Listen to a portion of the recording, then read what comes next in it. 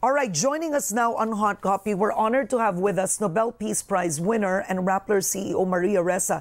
She's here to actually talk about her book, How to Stand Up to a Dictator. She's been actually doing the rounds abroad. You've been interviewed in so many TV shows, news magazine shows all over the world for this book. First of all, congratulations for the book, Maria. Thank, Thank you. you for being here. Thank you for being here. But before we talk about the book, I want to start first with the case of Frank Cimatu.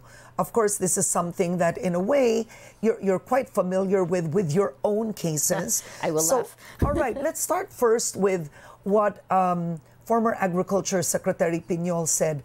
It proves that freedom is not absolute. The freedom of the press is not absolute. Well, first, this isn't a freedom of the press issue. This is his personal thoughts, opinions on his Facebook page. So this isn't a journalistic uh, piece of work, right? It, he didn't write a report. He didn't say this. This is freedom of expression more than it is freedom of the press. And I think it sends a very difficult signal for the Philippines Yeah. that you know you have to be careful what you say. It is literally freedom of expression.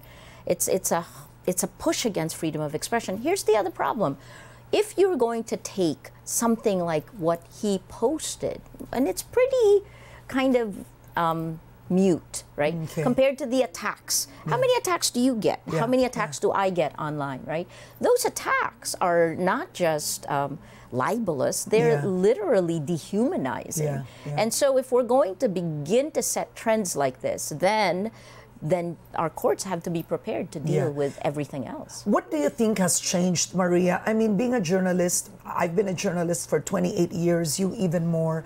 There have been 36. 36. There have been administrations where there have been several libel cases against journalists. This is not the first.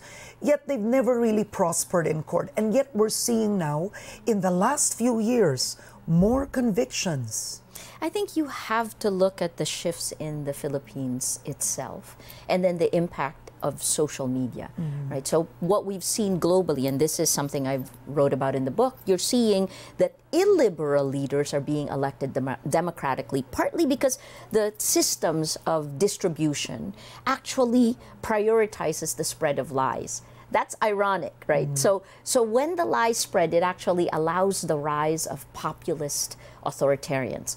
When the leader, and I'm not just talking of the Philippines, when the leader is a populist authoritarian, rule of law shifts slightly. And here I have to be careful about what I say because, of course, I still have seven criminal charges against me. I mean, things that I would have thought were unthinkable before, um, they're in the book. I, Yeah, yeah. Why did you choose this particular title? Let's talk about this.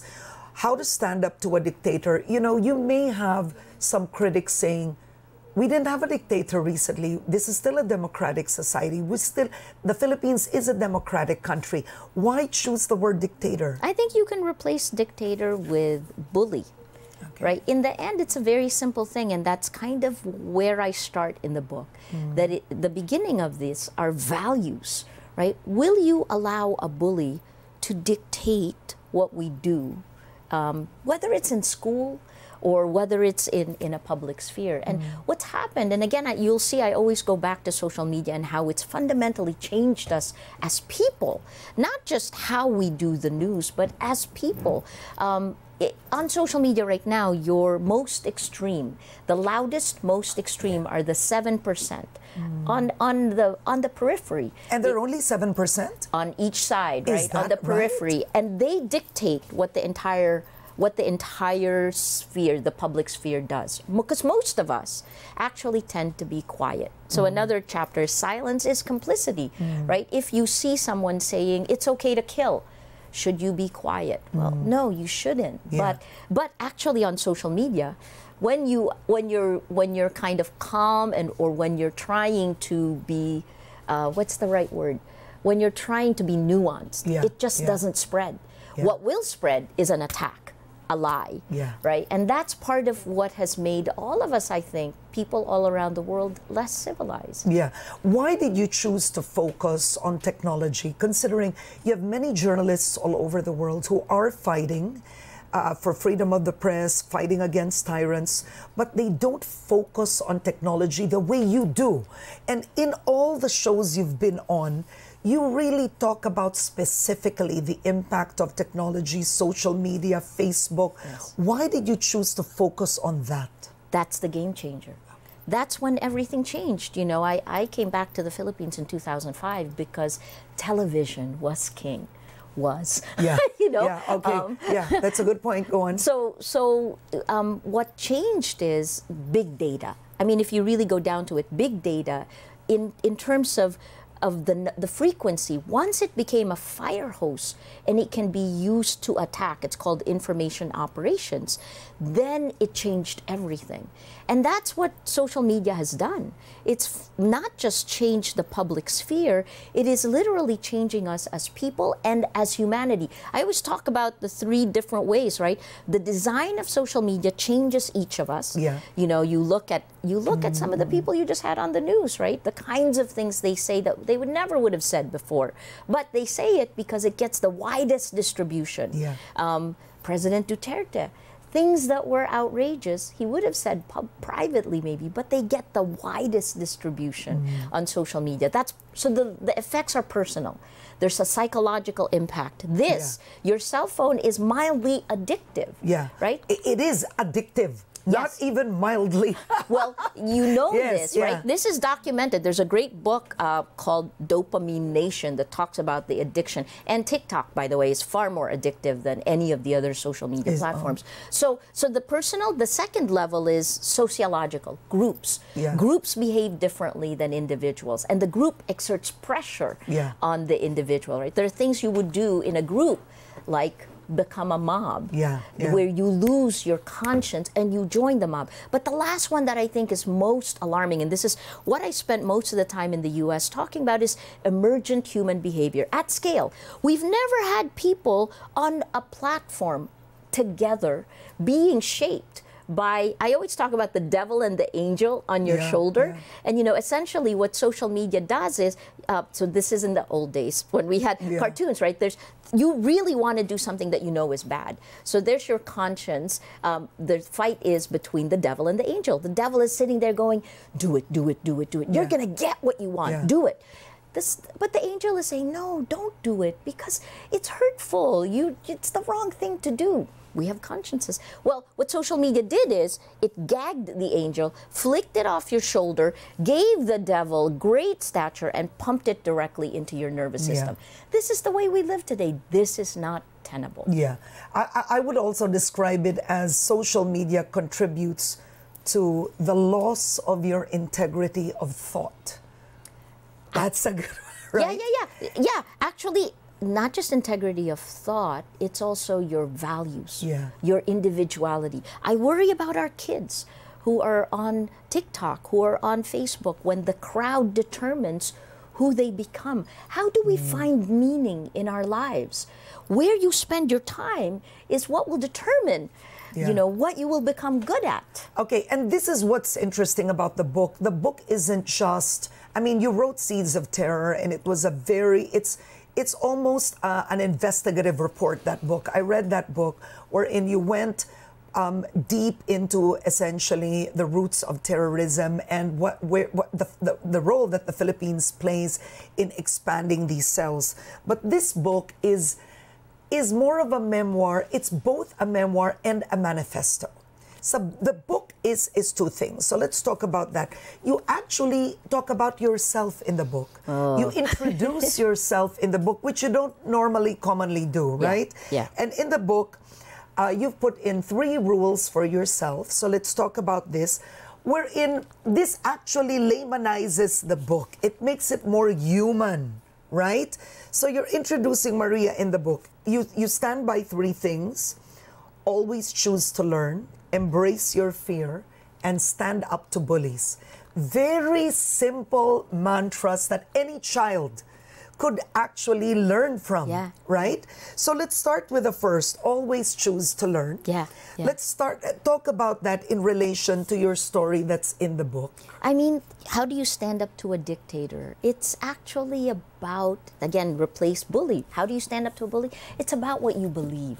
Mm. And all of those three lessons I learned when I was 10 years old. I mean, yeah, yeah. you know, very young when I was an immigrant kid going to the United States. Yes. And, uh, and I was the shortest, only brown kid in this classroom in, in Toms River, New Jersey. And, you know, the, so this is ironic. The very first one, make the choice to learn it, this has come full circle for me because my teacher in third grade, so in thir- they put me into third grade, and then within a few weeks they say, "No, sorry, can we move you up a grade to grade four? I didn't want to move. I was just getting to know people okay. around me. Yeah. And you know, I didn't. And, and, you you were asked to move because clearly you were academically advanced. Well, I I was just learning to speak English. We use Tagalog, we use uh -oh. Filipino yeah, yeah, at home, right? So I, I was, in fact, my teacher had reminded me I was so quiet, they were worried about me. So they started teaching me piano. I mean, they started trying to find ways to get uh -oh. me to speak, in quotes, right? So in this one, when, when my teacher, and I remember her name, Catherine Ugland, when Miss Ugland was trying to get me to move to fourth grade, I like resisted it, resisted it, because I was finally getting to know people in the place. I wasn't. Yeah. But then she sat me down and she said, "You have to go to grade four, because." You have to always make the choice to learn, and you've nothing more to learn in my class. That's interesting. And you remember that? Well, here's the irony. I remembered that because I kept so it was such a big thing. I did move to grade four. yeah. I hated it, but I moved yeah, to grade yeah, four. But Miss Ugland is half Norwegian. And she was in Oslo when I got the Nobel Peace Prize. Oh my I gosh. Mean, she, Are you serious? Yeah, she You saw your grade four teacher so, in Oslo? She was my grade three teacher. Grade th Yeah. Must so have been was, so emotional. It was we she had left Toms River soon after. So we just caught up and it was she remembered me as a third grade student, right? And so it was strange to see me through her eyes again and to see her. So that was make the choice to learn. Miss Ugland stayed with me. Yeah. Um, and I think it's important that you shared this in the book because there was fake news going around. Ay, si Maria Ressa, hindi naman Pilipino yan. 'di ba? Si Maria Ressa, ano ba 'yun? Indonesian siya at Amerikano or kung ano man. And this these are the kind of lies, I mean, Barack Obama also went through yes. that. Remember yes. when yes. it was spreading that he was the relative of Osama bin Laden at one point during the campaign? Yes, yes. Well, so to go back to to Frank Cimatu yeah. and and the freedom yeah, of expression, right? What's happened is that disinformation is kind of like the bullet and the gun is information warfare, okay. information operations. So when you are you're attacked, and we have both yeah, been yeah, attacked. Absolutely. Women journalists in the Philippines. Actually, Ed Lingao has been attacked yeah, yeah. incredibly. Information operations uses free speech to pound you to silence. That's that's the end goal. So you know these lies. Um, should I go file against? I yeah. mean, we know certain government officials who have who we've tried to hold accountable, but it's impossible. So um, so these types of cyber libel, which by the way, in an international community, having libel as a criminal yeah. charge actually goes against ICCP. It goes against yes. international yeah. law. So, so, these are things our yeah. our country will have to deal with. Anyway, so that's so a whole other thing. It's time to decriminalize libel. Well, yes, that's another yes. thing. Yeah. But this is something Rappler at the very beginning, when it was still cyber libel was still a bill. We actually very rarely does a news organization take a position on anything, but on cyber libel as a group, did. we did. We did when it was still a bill okay. before it became a law. All right, right? so let's go back to the making of oh, Maria sorry, Ressa. sorry. So let's go back to that. Make so that's the choice one. to learn. All right, that's yeah. interesting. Embrace your fear. Oh, so I'm, I'm, assuming it, it starts when you were a student. You might you you went back to the U.S. Yeah. Right. Yeah, yeah. You yeah. migrated there. That's fair. Yeah. And then it can't be that's not that's not the only fear. No, no. I one of the things I began to realize is that we are our own worst enemies whatever it is you're most afraid of, most of the time that's what stops you from progressing, from growing, right? So in this one, again, it was in, in fourth grade, so all around the same time period. Um, and this was, I told the story of a pajama party. Yeah. Do you know what a pajama, so. I did, I saw it on the Rappler page. Go on. I didn't know what a pajama party yeah. was. And I was a foreigner. In, you came with a wrong costume? I came in wearing pajamas and it was four in the afternoon and oh they were all playing kickball. No, that is so traumatic for a child. And then the question there is, do you get out of the car or not? Yeah, You know, what did you do? I I just said, "Mom," because my mom told me This you wear pajamas, you know. So I wore, but here I was just moving into the fourth grade, and there are all my classmates. They're playing kickball, and I was wearing pajamas. So they already saw the car come in, and do you open the door and get out, or you do you duck? I wish I could have ducked. I didn't. I mean, I just told my mom. You went out in in pajamas at four in the afternoon. Everyone was playing kickball, and and what did what did you go through? Well, so the coolest kid in the class comes to the it's her pajama party and she comes and she sees me in pajamas and I'm just stepping out of the car and I'm about I, th- I was gonna cry I think Yeah. you know Yeah. I was like oh my But, god to, to hear Maria Ressa just say on TV, I was gonna cry. I think. Yeah. no but they were like imagine Yeah. so so she just looked at me and she said do you have other clothes and she got my bag and then she brought me in the house and that's that's a moment for me and i Yeah. use that even here in abs when we're not sure what to do whatever it is you're most afraid of touch it hold it own it and kind of take apart, rob it of its sting. If you can rob your fear of its sting, you are unbeatable. So what happened? Like I just you learned to trust. You know, you're going to confront because if you don't confront whatever it is you fear, it's always going to be there. And kind of going around it is never going to address the problem. It'll keep recurring. So through life, I felt that was a really great lesson and something that I used to talk about when, when we were here, you Yeah. know, whatever. Okay, so what are we afraid of? Let's figure it out and then let's let's plan for it.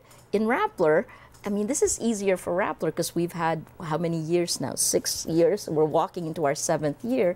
Whatever it is we're most afraid of, I think we think about it. We workflow. If it happens, what do we do? Mm. We workflow it, and then, like in in the cases of, I mean, you've seen this in our Facebook page. We drill it. Yeah. Like every quarter, we drill a shutdown. I Yeah, mean, okay. you Oh, know, really? we- Okay, okay. You know, you just do what You drill a shutdown every quarter in Imagine Rappler. it's kind of fun in its Yeah, own well, weird we, way. we don't have to drill it in ABS. I'm kidding. All right, moving on. It's it's a more it's it's a light morning for us. Okay. Now the last is stand up to bullies. Okay, which actually because of that life mantra allowed you and gave you I would have to say that chutzpah to be able to behave the way you did during the time when you were in court. Yeah. To the point, this is what I wanted to ask you. Do you remember when public officials in the Duterte administration were saying she's enjoying it? She's smiling all the Sal time. Panelo. Exactly. Yeah. So that's the first thing I want to ask you. How were you able to smile when you were in court? You you're facing uh, ten cases. You understand me, and it's true. You always smile, I mean, whether you're angry or not. well, so there's three different things, right? So the first one is um, how do you stand up to a bully? I because the reason I focused on these three was because the biggest question everyone always had was, where do you find courage? Yes. But in the end, it's Yeah. not courage. It is Yeah. what you do. You live step by step. Yeah. You live through it, right? Why do I smile? Because I smile. That's who I am. you know what I mean? It's like, and, and that was funny when when I heard um, he was then the press spokesman. Yeah. I I laughed because sometimes things are so ridiculous. That's the only recourse you have. I understand the Philippine Constitution. Yeah. I know the Philippine Constitution very well, you know, and, and even the ideas of how we fight back is journalistically, how we fight back. We use the phrase hold the line. We're not out there to attack or criticize. We hold the line, as in, this is the line where our rights are delineated by the Philippine Constitution. And it almost feels like at some point the government was using a bulldozer to try to get us to step back and voluntarily give up our rights. Well, I'm not going to voluntarily give up my mm. right. You know, I'm a citizen of the country. We are journalists. We're protected by the Bill of Rights. So we hold the line. That was the first. I think the other part, why do I smile? You know me. I mean, Yeah. I, I really smile. I mean, and, and oftentimes, the harder things get or the more challenging things become, that's the time when you really do smile. Because I think this is what breaking news what being a breaking news reporter taught me. Yeah. When there are Yeah. bullets whizzing on all sides of you, you take your fear and you push it down, and you have to have clarity of thought. And and always to a camera, you have to have three bullet points, pop, pop, pop, right? And you have to be able to speak and and actually enunciate what it is with clarity, regardless of what's going on around you. That's 36 years of training. Yeah, You know. yeah. So in many ways, when the Duterte administration came after Rappler, and that's the only thing I can really say Yeah. you know, we were doing our jobs. Uh, we're journalists doing our jobs. In the in the past, this has been enshrined in the Philippine Constitution precisely because we lived through times of martial law. These buildings were shut down. These were the most modern buildings in the 60s, and in 1972 they were shut down. Right? They were co-opted by the Philippine government at that time. Well, I I feel like at the at the time when the Duterte administration decided to attack the media, um, we needed to stand up to it, and that was clear in my head. Part of it was I was old enough. I was already in my 50s by the time we came, we were attacked. And it was almost reflex. Yeah. You know, we, I didn't have to think about it very much because we knew, and the Manangs, the four of us who, who, who founded and run Rappler, we're all of the same type. Um, you know, this is Glenda Gloria, who used to run Yeah, ANC, uh, uh, Chay Hofileña, and then Beth Frondoso. We were all ex. Who used to run ABS. TV Patrol. Yes. Okay. Yes. Oh. So so we had been around enough, Okay. long enough. So the instinct was we knew what was right, and so we did what was right, Yeah. and we didn't expect the government to bend to bend the law, right? So that's when I began to realize, wow, it's like, and you'll see it in the book, my discovery Yeah. of it. Um, We're not going to talk about the cases, okay? Oh, yeah, That- I just need to tell the viewers Yes. that we're not going to talk about the cases. Uh, I have restrictions. Yes, she has restrictions on that. But another thing is, what do you say to people, speaking of Rappler, that say, you know, Rappler is yellow, Rappler is biased, Rappler is not objective? You've heard those, I am sure, right? Yeah, yeah, yeah. And I mean, uh, clearly, mainstream journalism has lost a lot of, of, of its credibility. I mean, it's suffered uh, during the last six years, I would have to say, globally. This is globally. This, is, what I was going to globally. tell you. Yes, right? this right. is globally. I think you have to look again at how technology was used to Yes. attack the credibility of news organizations all around the world, right? Because if you want power and an, a, a network like ABS-CBN, which has tremendous power, you needed to bring it down because once you tear down credibility, and this is what happened, and I can talk about it Yeah. in my case, Yeah. once you do that, then people have no idea what the truth, what the facts are. So, you know, Tim Snyder, a historian, he studied um, he studied World War II. He Yeah. studied Ukraine. He's he's written a book called On Tyranny. He said, you know, this is modern authoritarians. This is the way they work. Yeah, You yeah. lie. Step one, you lie all the time. Step two, you say it's your opponent and the journalists who lie. Step three, everyone looks around and says, wait, wait, what is the truth? Which brings us to step four no one knows, and resistance is impossible. This, This is, is about illiberal leaders coming to power, enabled by social media. I mean, if you look up, uh, last year, UNESCO and the International Center for Journalists took a look at half a million attacks against me on social media. Please look at this, my Yeah, dear yeah. So you- lawyers. you, Um, UNESCO studied this. they studied it and they looked at 60% of the attacks were meant to tear down my credibility. Yeah. Tear down credibility. So I was getting pounded. But the other 40%, It's like what they do in court to a witness. well, I mean, it's Right? worse because Yeah. this is like it's Attacks a loaded from- weapon yes, that yeah. doesn't stop. I was getting 90 hate messages per hour. Yeah. Right? I would like Secretary Piñol or ex-Secretary Piñol to have dealt with 90 Yeah. hate messages per hour. Yeah. Um, boy, it would be great if I could file against every one of the 90 Yeah. hate messages per hour. Anyway, so the other 40%, though, and this is where women are actually attacked, are gender disinformation. They were Mm, I went through that. you did. I know because I could see this, right? So um, these attacks are meant to tear down your spirit. So you ask, you know, well, they say you're biased. My gosh, when even when I was here with ABS-CBN, I think I was both a CIA and a communist already, right? Yeah. Now on social media, people have no idea what to expect. But this is where um, globally I have pushed for legislation. Right? So, you know, Yeah. how do we deal with it? First, we have to solve the problem that social media opened. The new gatekeepers that abdicated responsibility, it's education. You know, for our kids, for example, we need to deal with mm-hmm. long term education, medium term legislation. yeah. The EU has the Digital Services Act and the Digital Markets Act. Oh. I've testified in these things. Yes, And they are focused on But- algorithmic distribution. Okay, so do you believe the EU's is the role model for now? There's several. There's several that are coming out, but what will roll out? It's the EU first. So we'll see how that impacts all of us around the world. But what is what is it with the EU? So uh, do you say it's the Social Media Act? What's it actually called? It's called the Digital Services Act Yes. and the Digital Markets Act, and it's part of a whole plan for the EU called the Democracy Action Plan. there. Okay, Right. so how could that change the Philippine setting? Because most of these social media platforms have one setting for everyone. I mean, here's the upside, right?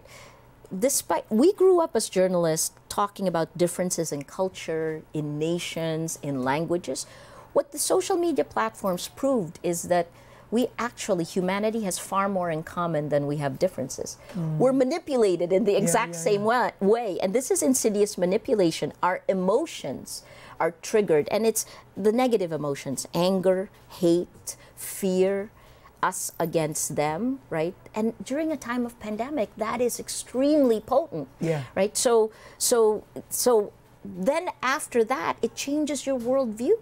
I mean, in the United States, they've never had violence the way they did on Capitol Hill on January 6, 2021, mm-hmm. right? So this is global. It is manipulating our biology, and nations are behind. Democratic nations are behind in preventing this kind of Yeah. manipulation. And, and I know that you write in your book as well. Okay, I mean there's several parts of the book, but from there's the honor code, wherein if, I, I believe this is um, uh, part of your experience when you went to Princeton, right? The we honor used the honor code in, in ABS. in ABS. We did. with the ethics code. Yes, Yes, in a way. Then creating ripples of change. But here's here's something interesting. You really focus on Facebook as well, Mm. and you get very technical about it. Is Facebook doing enough? I mean, clearly they've taken out several, they've taken down several sites. They're taking action. There are fact checkers. Rappler is one. I believe ABS is a, is a fact checker too. But is is that enough? No, too little, too late. Definitely not. And this is part of, Yeah. you know, it's almost like we walked into another world. In fact, we did. I use this all the time. If you watch Stranger Things on Netflix, yes, I do. We're in the upside down. Yeah. This is what the new gatekeepers did. They turned the upside down, and we're in the upside down, and it looks kind of vaguely familiar, but it is not. This is not the real world, and we need to demand it be turned right side Yeah. up, right? How would you de- define democracy in the Philippines today? You know, I've been. Is it a hybrid of some sort? I I am a, I remain optimistic about this, right? And part of it is because you it's, I've been asked this: Are things better in the Philippines? Yes, it is because we were coming from such a low bar, you know. So so Uh, yeah. yes, and I have to say, you know, for President Marcos, he has a lot to prove. I believe his success will be our success. So you know, our economy must thrive. And is it better? Well, let's just talk about Rappler. We have a reporter traveling with President Marcos um, in Brussels today, right? So we were, in, in case you forgot, uh, in February 2018, Yeah, yeah. the palace shut Banned. out our Yeah. reporters. And then it wasn't just the reporters. I wasn't allowed at the palace. Then every Rappler could not go anywhere near where President Duterte was. We filed a case at the Supreme Court. It's still there, you Ah, know. okay. So, um, but now But that's why you say it's better. I think it's TBD, Yeah. right? And I, and I hope that it Yeah. will be better. Wait, for our viewers, she means to be determined. Yes, Okay. TBD. Yeah.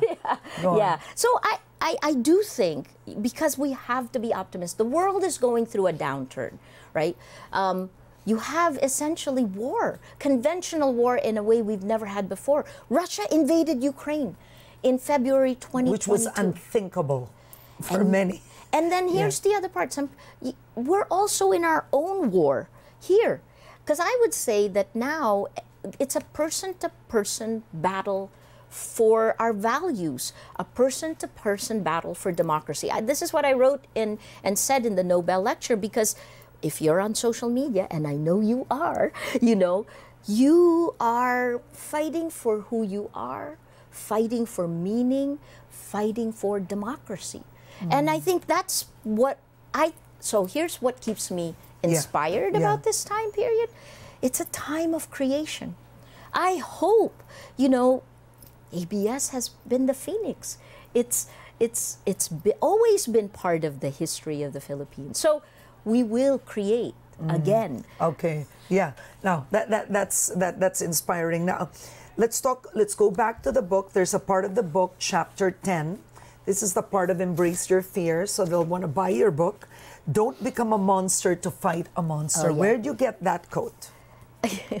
part of that is, you know, hi, Secretary Panelo. No, but part of Are that is like say, no, part of it was like, you know, she smiles. I I, I do smile. I I'm not going to change. So that's I'm not going that- that's that's where this came from, I in a way. I think they all come together, Together, right? Because yeah. I, like I said, we were old enough to be who we are. Yeah. We know our whys. We know why we do journalism. We know why journalism is critical to a fully functioning democracy, right? We've run large news organizations. Yeah. And so I think when you are harassed or intimidated, when the full force of a government is used against you, you sit there and you go, What am I going to do? How do I respond? And for me, it was like, I'm going to respond like me. I believe in fairness, in equality, in meritocracy. I believe in democracy. I am not going to change. So, don't become a monster to fight a monster. I mean, this goes through Nietzsche. I also quote Nietzsche here. Yeah, yeah. You know, Nietzsche said, What doesn't kill you makes you stronger. yeah. That's also true, Yeah. right? It's like going to the gym. Every time you go to the gym, you're actually tearing your muscles to become stronger. So that's the way I looked at that. I feel like too many people compromise. And that's the hard part, right? Too many people. This is how I walked into the Philippines. Because when I first came to the Philippines, and I worked for PTV4 and then ABS CBN during those days, and they, they would tell me, this was before we started Probe, the separate company. Um, it was under ABS, and people would say, you know, I saw these people, journalists, being given envelopes. Mm. And, you know, And you were very young then. Oh, I think was we in have my to 20s. contextualize. Yeah. Yeah. And yeah. and you know, I and I would ask, I asked Cheche Lazaro, who was then head of public affairs, like, why are they accepting? What's in the envelopes? Turns out it's money. Yeah. And, you didn't know then, in your 20s. yeah. Malay, Oo, oh, oh, oh, di ba? because you came, wait, you, you, you came already from the US. Yeah. And- because you went back here and then you went to CNN. And then All when I realized that those were envelopes of money, I just start, started saying, but why are we not saying anything about it? Why are we not saying this is wrong? And then, you know, Luchi Cruz, who also was in ABS, Yes. Luchi Cheche and I had started Probe. They were saying, yeah, but Maria, you know, other people have families. Yeah. So it was kind of this unwritten rule. Journalists would look away the other way if someone wanted to accept the money. But I thought, we But is it also contextualizing? I mean, I'm just bantering with Please. you here. Is it also contextualizing the reality? you can always rationalize and justify corruption. Always. I mean, when I headed ABS CBN, you know, we took a zero tolerance approach to corruption. One of our folks who, who won the top 20 awards, right, was caught on camera accepting and he left. We let go of him Yeah. because of that. Because you have to take a zero tolerance. People will say, I'm not getting paid enough. Well, yeah, okay, maybe, right? There's always a rationalization. But you know what we did in Probe? Because they told me, you know, you don't, we just like let families, maybe Yeah. he has a family. Yeah. Okay, well, but we take a position. And we Uh, did.